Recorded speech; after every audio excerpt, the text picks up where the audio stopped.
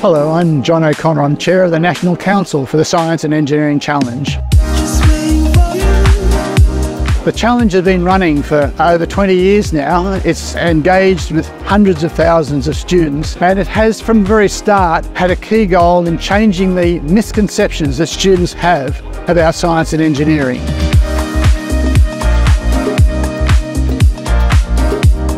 I'm Sean Gilhooly and I'm an aerospace engineer at Boeing working on the Wedgetail. My STEM journey began in high school when I did the Science and Engineering Challenge myself which was a fantastic time. And then I continued on into uni to do aerospace and mechatronics engineering over seven years. During that time, I also worked as an event assistant with the Science and Engineering Challenge. Now I've come full circle and now I'm volunteering as a Boeing representative helping out the activities. So it's really good to see how these kids are building up their critical thinking, problem solving skills for future employability, because that's the youth of the future, you know, they'll be the decision makers in the future. It's good to see them have those skills and have that interest today.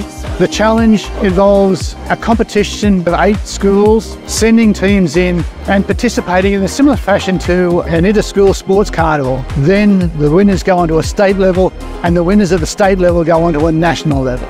And we have positive statistics that show that impacts on their decisions to do physics, chemistry and mathematics in year 11 and 12, which keeps their options open for university. I think it's really important for industry partners to get involved with the Science and Engineering Challenge because it's a lot more relatable to the students.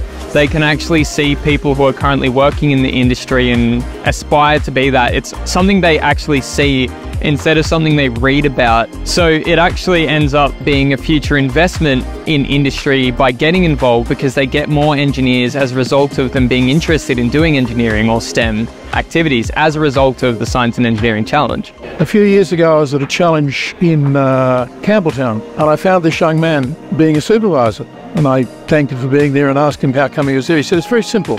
When I was at high school, I didn't know what my career was going to be. I went to a challenge and I've just graduated. There's an engineer. And I came back to say thank you. For companies, this is your future candidate pool, you know?